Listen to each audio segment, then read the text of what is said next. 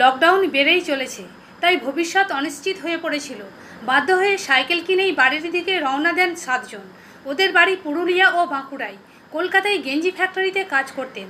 সিদ্ধান্ত নেন সাইকেল কিনে বাড়ির দিকে রওনা দেবেন। তার জন্য চারটি সাইকেল কেনেন। বুধবার ভোর তিনটের সময় বেরিয়েছিলেন, কিন্তু ধরা পড়েন আরামবাগ পুলিশের হাতে। তাদেরকে আরামবাগ হাসপাতালে স্বাস্থ্য পরীক্ষার জন্য পাঠিয়েছে পুলিশ।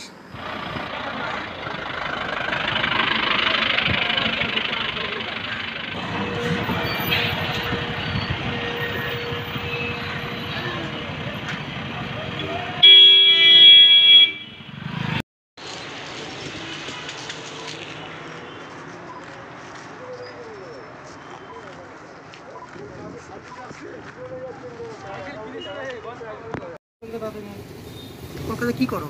কলকাতায় গ্যান্ডি ফ্যাক্টরি কাম করব কাজ করো? হ্যাঁ। আর সাইকেল কিনলে? হ্যাঁ। কত টাকা দিয়ে? চার হাজার দুশো পঞ্চাশ। কখন বেরিয়েছিলে? ওই মোটামুটি তিনটা সাড়ে তিনটা আর পুরুলিয়া কোনখানে বাড়ি? পুরুলিয়া বন্ধন থানা। বন্ধন থানা। বন্ধন থানায়। হ্যাঁ। কজন বেরিয়েছিলে তোমরা?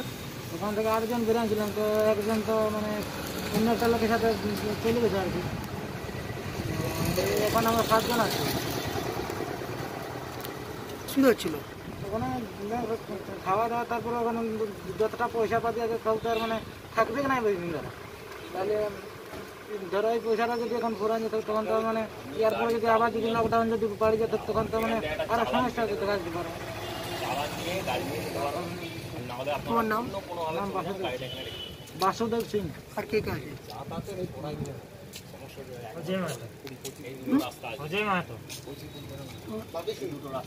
বাপি সিং ওর